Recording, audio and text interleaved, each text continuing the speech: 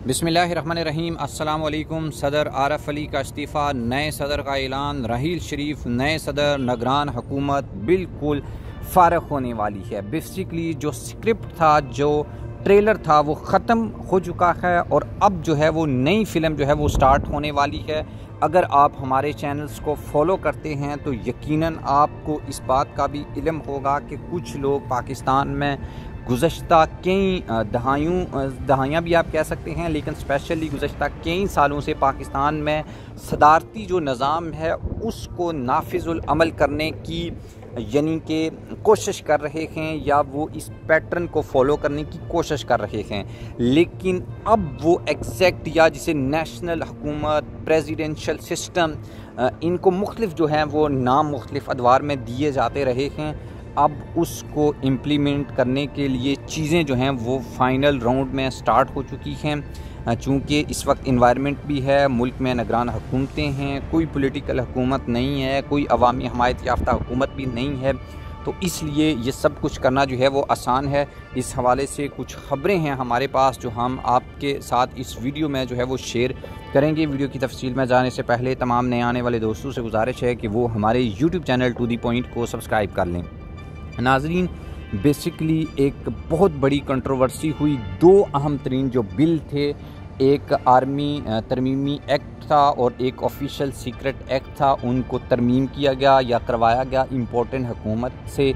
और वो जो दोनों एक्ट्स थे, उनमें बर रास्त इमरान ख़ान को एक कड़ी जो सज़ा देने की एक साजिश जो है, वो बादी नज़र में सामने आती है। लेकिन ऐवान सदर की जानब से वो जो बिल हैं, उनके ऊपर एतराज़ात उठाए गए। लेकिन स्टाफ में से किसी ने मुबैना तौर के ऊपर वो जो एतराज़ात हैं, यानी कि सिग्नेचर करके भी बेच कर वो कानून जो है उसको बना दिया और सदर साहब जो हैं, उनको पता ही नहीं चला और फिर उन्होंने जाकर ये बात जो है वो सोशल मीडिया के ऊपर लिख दी, यानी ट्विटर के ऊपर लिख दी। लेकिन ख़बर ये है, आपको पता है, पाकिस्तान में कई बार जो है वो जब इमरान खान साहब थे तो उस वक्त भी बहुत सारी खबरें हमने भी इसके ऊपर वीडियोस बनाई थी कि कुछ यानी कि हल्के ऐसे हैं जो ये चाहते हैं कि पाकिस्तान में सदारती जो है वो निज़ाम हुकूमत होना चाहिए और उसके साथ इस्लामी भी लगा देते हैं। यानी Islamic presidential system in Pakistan और इमरान खान जो हैं उनको वज़ी अजम के अहदे से हटा कर उनको वज़ी अजम सॉरी, सदर पाकिस्तान जो है वो बनाया जाएगा। इस हवाले से पाकिस्तान तरीके इंसाफ का कभी भी कोई मौक़ जो है वो सामने नहीं आया। उस वक्त जो इम्पोर्टेड हुकूमत थी, यानी उस वक्त की जो अपोजिशन थी, जब हम इमरान खान हुकूमत में थे तो वो इमरान खान के ऊपर ये इल्ज़ाम लगाते थे। लेकिन अब अच्छा उस वक्त भी एक नेशनल हुकूमत का कॉन्सेप्ट भी पाकिस्तान में काफ़ी टाइम से जो है वो परवान चल रहा है और अब शायद वो वक्त है कि पाकिस्तान में नेशनल हुकूमत बनाने का जो वो मंसूबा है, उसके ऊपर जो है वो अमल दरामद किया जाए। और उसके लिए पहले भी आपने देखा होगा, रहील शरीफ वज़ी अजम रहील शरीफ नगरान वज़ी अजम रहील शरीफ जो है वो प्रेसिडेंट रहील शरीफ ये, रहील शरीफ वो। यानी ताकतवर हलकों के पास रहील शरीफ साहब जैसा जर्नैल जो है वो एक ऐसा नाम है जिसको अगर वो अपनी हुकूमत यानी कि प्रैक्टिकली अपनी हुकूमत, यानी कि पहले तो था हाइब्रिड हुकूमत, यानी शबाज शरीफ, इमरान खान या कोई भी वज़ी अजम होता है, लेकिन कंट्रोल चीज़ें जो हैं वो सारी वहाँ से होती हैं। लेकिन वो कहते हैं कि हम अपने ही किसी सबक जर्नैल को सदर बना दें और यानी कि बाज़ाहिर भी और बैक एंड के ऊपर सारी चीज़ें जो हैं वो हम खुद कंट्रोल करें। तो इस हवाले से एक ख़बर है, वो जो आगे चलकर मैं आपके साथ शेयर करता हूँ, लेकिन उससे पहले मैं आपको ये बताऊँ कि सदर आरफ अलवी साहब ने भी एक बड़ी गेम की है। ऐवान सदर ने मुकर्रा तारीख गुजरने के बाद आर्मी एक्ट और ऑफिशियल सीक्रेट एक्ट बिल जो है, वो वापस भिजवा दिए गए हैं। दुनिया न्यूज़ की ये रिपोर्ट है, जिसके मुताबिक ज़रा वजारत पार्लिमानी अमूर का कहना है कि दोनों बिल्स पर जो सदर ममलकत के दस्खत हैं, ना ही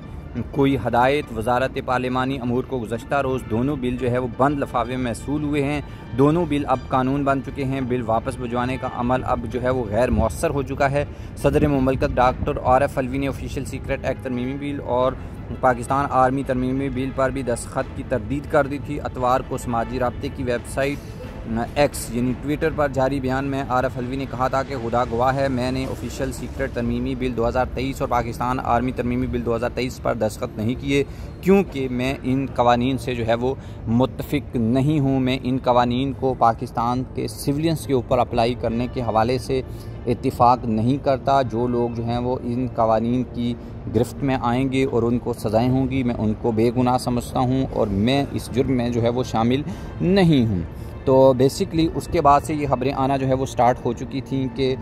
जब एक, इस एग्जेक्टिव लेवल की पोजीशन के ऊपर कोई बंदा जो है वो बैठा हो और नीचे से उसके स्टाफ के लोग उसके अहकाम मानने से इनकार कर दें तो डेफिनेटली उसको जो है वो, यानी कि आप ऐसा कह लें कि उसको यानी मुस्ताफ़ी हो जाना चाहिए। तो इसके हवाले से एक मीम भी जो है वो सोशल मीडिया के ऊपर जो है वो चल रही थी और बाज़ अदारों में डिसिप्लिन जो अदारे होते हैं उसमें ऐसा होता है कि जब आप अपने किसी हेड का हुक्म नहीं मानते तो हुकूमत जो है सॉरी वो अदारा जो है वो उसको, उसका कोर्ट मार्शल करता है, उसको सर्विस से निकाल देता है, पुलिस में मुअत्तल कर दिया जाता है। लेकिन यहाँ पर उल्टा है कि सदर की कोई बात ना माने तो बजाय इसके कि जो लोग या स्टाफ की जिन लोगों ने सदर की बात नहीं मानी उनको पनिश किया जाए, बजाय उल्टा ये कह रहा है कि सदर जो हैं वो उनको ही जो है वो मुस्ताफ़ी हो जाना चाहिए और उनको जो है वो इस्तीफ़ा दे देना चाहिए। तो बेसिकली ये उसी, यानी आप समझ लें कि प्लान के ऊपर अमल दरामद करने की जो है वो कोशिश की जा रही है, जो बेसिकली यानी पाकिस्तान में जो कुतें सदारती निज़ाम ला कर जो पावर का सेंटर है, उस, वो सदर पाकिस्तान को बनाना चाहती हैं और सदर पाकिस्तान जो है वो फिर अपनी मर्ज़ी का कोई बंदा जो है वो उसको लगाया जा सकता है क्योंकि टेक्नोक्रेट्स की जो हुकूमत है, इस हवाले से मुख्तर जो हल्के हैं, वो ज़्यादा कम्फर्टेबल जो हैं वो फील करते हैं। जैसा कि आपको मालूम है कि इम्पोर्टेड हुकूमत या पी टी एम की जो हुकूमत थी, उसने भी पूरी कोशिश की कि किसी सियासी शख्स को जो है वो वज़ी अजम बनाया जाए, लेकिन सियासी शख्स को वज़ी अजम बनाने से गुरेज़ा थी इस्टेबलिशमेंट और उन्होंने फिर भी अपने ही बंदे को जो है वो वज़ी अजम बनाया है और ये एक यानी कि ओपन सीक्रेट है कि जो अनवर काकड़ मौजूदा पाकिस्तान के नगरान वज़ी अजम हैं, वो असल में इस्टेबलिशमेंट के वज़ी अजम हैं। किसी सियासी जमात ने उनका नाम नहीं दिया उनका नाम जो है वो जिस तरीके से आया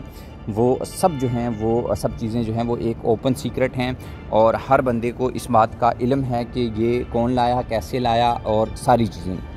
लेकिन अब आर्मी सॉरी सबक जो आर्मी चीफ़ हैं, रहील शरीफ जो सऊदी अरब में थे, अब पता नहीं हैं या नहीं हैं, अभी कोई मेरे पास ऐसी कोई ख़बर नहीं है जिसको मैं कन्फर्म कर सकूँ। लेकिन उनको जो है वो सदर पाकिस्तान बनाने की जो ख़बरें हैं, वो सोशल मीडिया के ऊपर फैलाई जा रही हैं और डेफिनेटली एक जो है वो जिसे कहते हैं कि राय आमा जो है वो हमवार करने की कोशिश की जा रही है। जब इसके ऊपर अमल दरामद किया जाए तो लोगों को ये कोई अननाउन सी चीज़ नहीं लगे, बल्कि वो ये समझें कि यार ये बात तो काफ़ी टाइम से हो रही है। यानी कि एक मीडिया वार जिसे हम कहते हैं या मीडिया के थ्रू जो है वो लोगों की एक ओपिनियन जो है वो बेस्ड बनाना। दिस इज़ द मेन यानी कि आप ये कह लें कि रीज़न तो इन जो है वो आप देखें। कि चीज़ें कैसे जाती हैं। अरफ अलवी साहब जो हैं वो अभी तक तो डटे हुए हैं और पीटीआई के लोग जो हैं या दीगर जो सियासी लोग हैं वो यही चाहते हैं कि वो अपने अहदे के ऊपर रहें ताकि पाकिस्तान में टूटा फूटा जो जमहूरी निज़ाम है ये ऐसे चलता रहे। अदरवाइज़ जो हैं वो अगर मुस्ताफ़ी होते हैं तो चीज़ें जो हैं वो बिल्कुल जो हैं वो ग्रॉस रूट लेवल के तक जो हैं वो ख़राब हो सकती हैं। तो लेट्स सी देखते हैं आने वाले जो दो तीन दिन हैं वो बहुत ज़्यादा इंपॉर्टेंट हैं।